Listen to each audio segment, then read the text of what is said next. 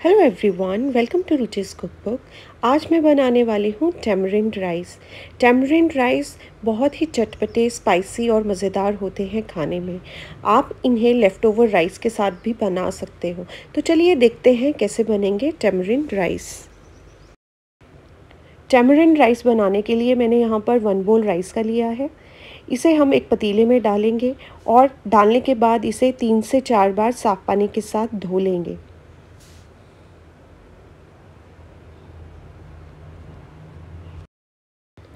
चावलों को मैंने अच्छे से तीन से चार बार धो लिया है।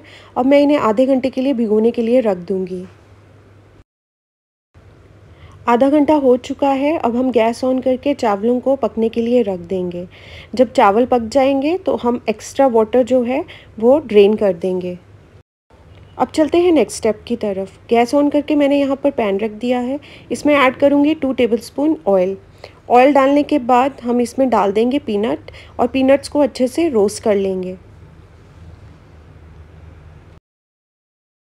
साथ में मैं इसमें ऐड कर रही हूँ टू टेबलस्पून कैश्यूज़ और इनको भी पीनट्स के साथ रोस्ट कर लेंगे।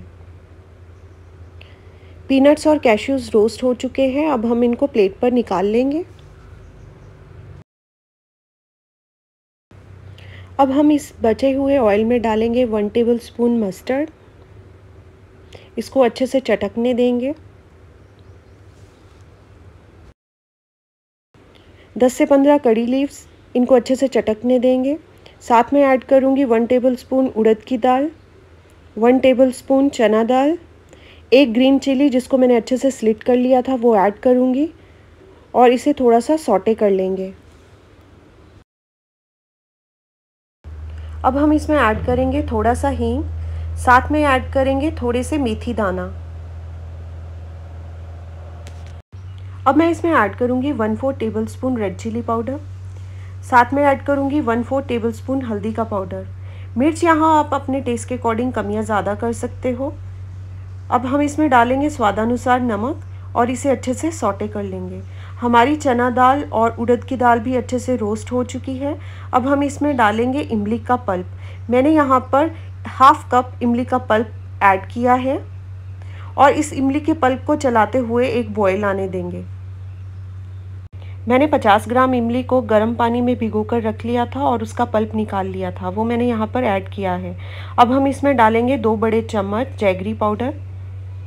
आप जैगरी पाउडर की जगह चीनी या गुड़ को भी ऐड कर सकते हो।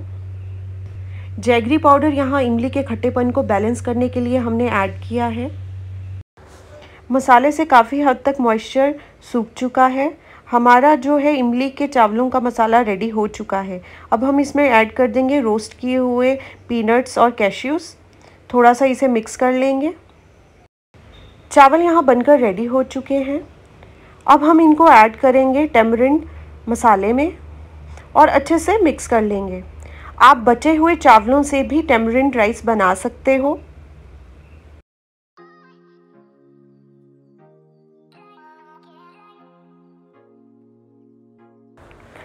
टेमरिन राइस जिसे हम इमली के चावल भी बोलते हैं, वो हमारे यहाँ बनकर रेडी हो चुके हैं। हम इसे धनिया पत्ती से गार्निश कर लेंगे। If you like my recipe please subscribe to my channel happy eating